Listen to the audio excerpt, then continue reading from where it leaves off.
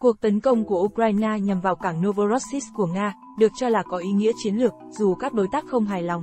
Trang tin Ukrainska Pravda ngày 1 tháng 1 đăng bài phân tích cho rằng, cuộc tấn công của Ukraine vào cảng Novorossiysk của Nga vào tháng 8 năm 2023 có ý nghĩa chiến lược quan trọng đối với việc khôi phục hoạt động xuất khẩu ngũ cốc của Ukraine. Vào tháng 7 năm 2023, sáng kiến ngũ cốc Biển Đen, nằm trong thỏa thuận giữa Nga và Ukraine, do Thổ Nhĩ Kỳ và Liên Hiệp Quốc làm trung gian hết hạn. Nga từ chối gia hạn và bắt đầu tăng cường tấn công các cảng khắp tỉnh Odessa của Ukraine.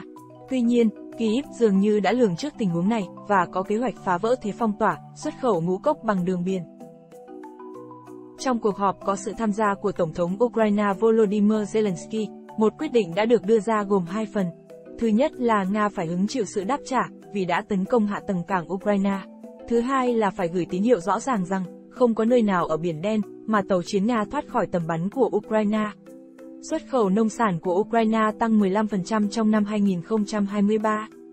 Theo hãng Ukrinform, ước tính Ukraine xuất khẩu 67.5 triệu tấn nông sản các loại, cao hơn 15% so với năm 2022. Tuy nhiên, doanh thu từ xuất khẩu nông sản trong năm 2023 chỉ đạt 21,9 tỷ đô la Mỹ, thấp hơn 8% so với năm trước đó. Việc doanh thu giảm được cho là do giá mọi sản phẩm nông nghiệp đều giảm so với năm 2022. Chính phủ Ukraine và lực lượng vũ trang nước này có hai nhiệm vụ là đảm bảo hoạt động của hành lang ngũ cốc mới và đẩy lùi, phá hủy mọi tàu Nga có khả năng mang tên lửa trong vùng biển này.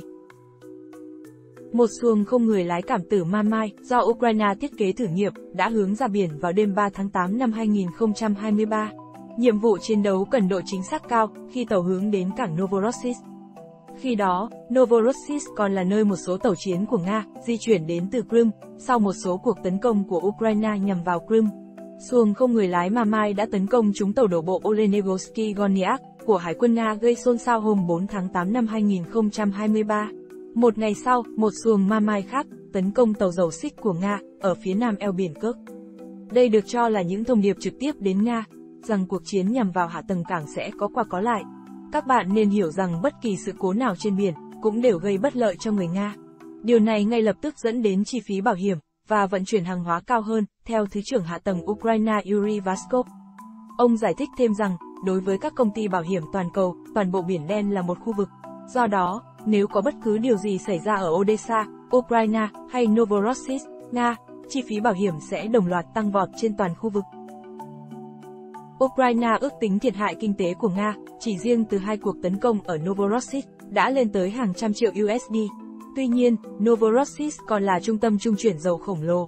Các tập đoàn khổng lồ của Mỹ cũng dùng cảng này để trung chuyển dầu xuất sang Kazakhstan.